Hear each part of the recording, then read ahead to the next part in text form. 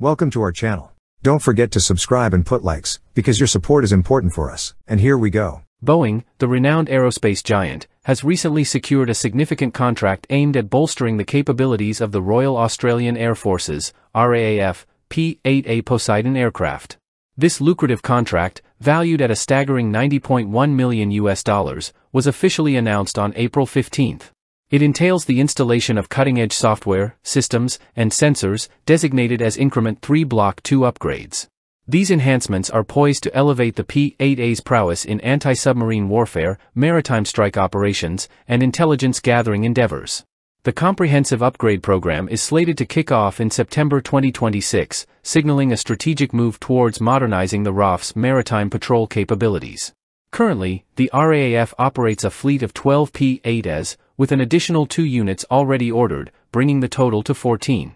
The initial phase of upgrades will see the first two aircraft undergoing modifications in Jacksonville, Florida, with subsequent enhancements slated to take place at RAAF Base Edinburgh in South Australia, managed by Boeing Defence Australia. While the delivery of the remaining two P-8As is expected in 2024 and 2025, Boeing has hinted that these aircraft may not be initially delivered in the Increment 3 Block 2 configuration. However, they are likely to be incorporated into the upgrade program alongside the rest of the fleet, extending the contract beyond its original end date in 2030. Naomi Smith, Director of Sustainment Operations at Boeing Defence Australia, shed light on the scale of this ambitious endeavour, stating that the upgrades will necessitate over 300,000 hours of maintenance work spread across four years. Each aircraft is anticipated to undergo approximately 7.5 months of intensive modification work to integrate the advanced systems seamlessly. This substantial investment in enhancing the P-8A's capabilities comes on the heels of Boeing's recent announcement of a separate $3.4 billion contract to manufacture 14 P-8As for the Royal Canadian Air Force, alongside three additional maritime patrol aircraft for the German Navy.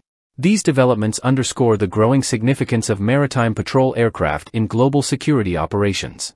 The Boeing P-8A Poseidon, derived from the company's next-generation 737-800 commercial airplane, stands as a testament to Boeing's prowess in aerospace innovation.